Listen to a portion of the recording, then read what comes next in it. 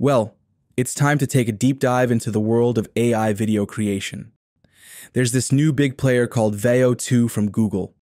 In this video, I would like to compare the performance of the other better known platforms, such as Kling, with the new version 1.6, Minimax and Runway, with that of Veo 2. I will skip Sora in this analysis for the time being.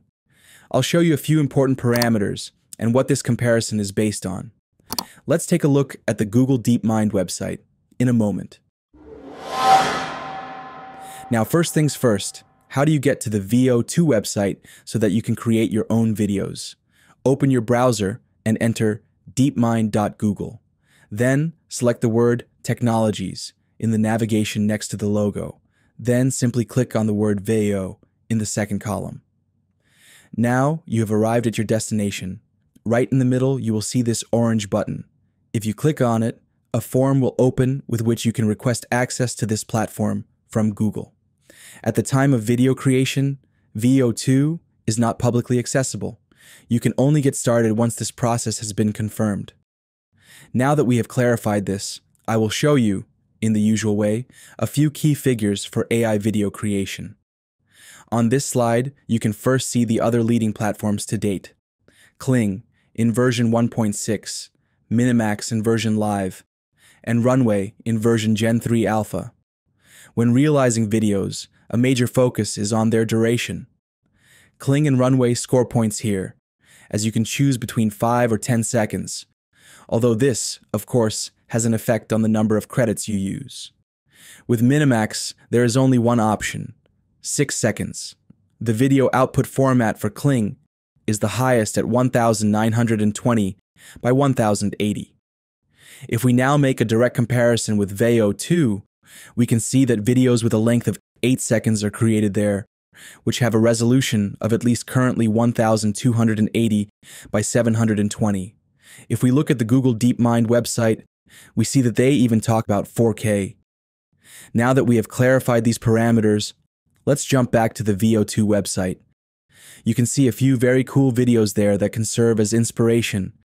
For example, the movie with the cute cartoon girl at the bottom right. I actually really like it. If we scroll further down the website, there are more videos. Here, for example, flamingos, or this diving dog with swimming goggles. Then, this dog on the inflatable pink flamingo. This is also very well done. If you want to know how such a result can be realized, you can see the prompt directly below the respective video. And of course, we can find this hyped muscle car video on the website. You can also analyze the prompt there. I think this video is also very well done, if we look at it from a distance. However, if we take a closer look at the technical details, we will notice that there is still room for improvement here and there. If a vehicle has a turned in tire position, you would think that it would drive into that direction. Instead, you can see that the vehicle continues to drive straight ahead. But let's not be too critical. As is often said, this is the worst it can get. And I have already noticed that the other platforms also face this challenge. In order to start the competition, I've done the following. Let's take another quick look at the cute cartoon girl. This video is actually very suitable for the contest. I then started Midjourney, typed a bit on the keyboard, and wrote my own prompt to generate a roughly similar image. You are now looking at a cute cartoon boy in an American diner in the 1950s. This is the competing contest image, so to speak. The second competing image is this picture with a dog on the flamingo. I wrote a prompt about a kitten on a green inflatable hoop. And of course, the third competing image is this muscle car. Here you can see a white pickup truck taking part in a NASCAR race. A convoy of black police vehicles follows behind the pickup. During this chase, the pickup makes the tires smoke. If we now take the first image, the cute cartoon boy, then Kling has produced the following result in version 1.6. If you look closely, you can see a lot of detail. It looks very lively. Not only the body, but also the hair is very dynamic. You can't really criticize much. It's very cool. Let's now evaluate the result from Minimax. There, you can see that the hair and the entire depiction look a little less dynamic.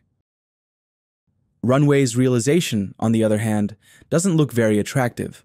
Not only are the colors oversaturated and the picture looks extremely overdrawn, the realization also gives the impression of a still image with slight movements here and there.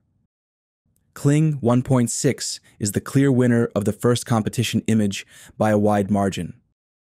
Well, next round. We still remember the dog on the inflatable flamingo. The counterpart is this kitten on the green hoop. Let's take another look at the result from Kling. Version 1.6 is absolutely stunning. Here we see this cute little kitten all shaky and wet. The hoop wobbles and the kitten trembles. Absolutely fantastic work. If we look at the result from Minimax, on the other hand, it's very disappointing, especially in view of all the positive things that have been said and written about Minimax. It seems very static. Of course, it's fair to say that I used the identical prompt a stunning photograph showcases an adorable kitten that I wrote for all three platforms. It is also clear that each platform has its own prompt structure. With Runway, the camera should be at the beginning of the prompt, with Kling at the end, and so on.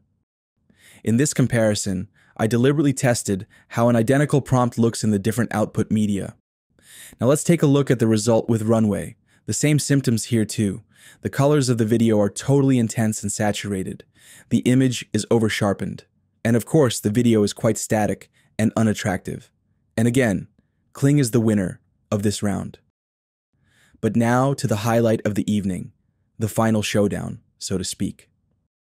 I set up this NASCAR scene with the white pickup truck. Kling is the first to start again with version 1.6. The tires are smoking, then the driver hits the tires hard and makes a dramatic left turn to flee from the approaching police vehicles. That's really well done. What is also important at this point is that version 1.6 has only been on the market for a short time. Until now, we had to work with version 1.5, and this is the result. You can see how the vehicle almost loses the right front tire at the beginning. The vehicle is pulled to the right, it smokes and fumes quite heavily, so you can see that Kling 1.6 is much better at keeping to the prompt. A powerful update you really have to take your hat off to the developers at Kling. This is an absolutely top solution that doesn't have to duck away from either Veo 2 or Sora. Minimax, on the other hand, once again leaves a lot to be desired. The tires are static, and it almost looks like an inflatable vehicle floating over the road. Finally, the contribution from Runway. This is again very strange and overly sharp. You can see the warning lights of the police vehicles in the background. Basically, however, it looks as if the vehicle is on fire and the camera slowly rotates around it. In short, Kling is the winner here too. Let's take another step back. The video of this muscle car does look a bit longer. That's why I took the liberty of making a slightly longer video with the pickup. You can see the result here. At the beginning it smokes, then the driver turns left and speeds past the police car. I hope this has given you some inspiration and you're not only fixated on Veo 2 or Sora, but alternatively use Kling 1.6. That's it for this tutorial. I hope you enjoyed it. Please leave a like, subscribe to the channel, and recommend it to others. Thank you very much for listening. See you soon. Your channel, AI. Now you know.